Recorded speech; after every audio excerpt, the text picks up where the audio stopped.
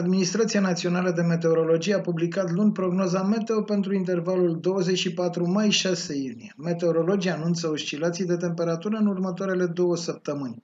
Luna iunie începe cu vreme călduroasă, dar și cu ploi în mare parte a țării. În Transilvania, în prima parte a intervalului de prognoză, vor fi alternanțe între zile calde sau caracterizate de o vreme apropiată de normal, cu media ale temperaturilor maxime de 22-26 de grade, cu perioade răcoroase, când la amiază se vor înregistra valori de 19-22 de grade.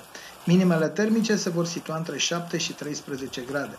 Vremea în general mai rece decât normal se va menține în intervalul 29 mai-2 iunie cu valori diurne, mediat regional de 18-20 de grade și nocturne de 6-10 grade, ulterior fiind de așteptat o încălzire treptată. În intervalul 25-28 mai vor fi perioade în care fenomenele asociate instabilității atmosferice se vor semnala pe arii relativ extinse și local se pot înregistra cantități de apă mai însemnate. Probabilitatea de ploaie va fi ridicată și între 31 mai și 3 iunie.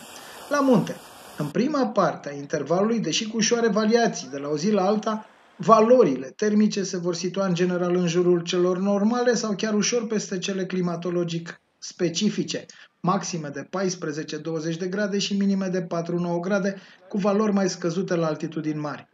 Între 28 mai și 2 iunie, vremea va fi răcoroasă, astfel că la amiază vor fi temperaturi de 10-15 grade, iar noaptea 2-6 grade.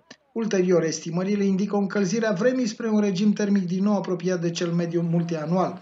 Din data de 25 mai, vremea va fi în general instabilă, cu perioade în care fenomenele asociate instabilității atmosferice se vor semnala pe arii extinse și local se vor înregistra cantități de apă mai însemnate, în special în intervalele 26-28 mai și 31 mai 2 iunie.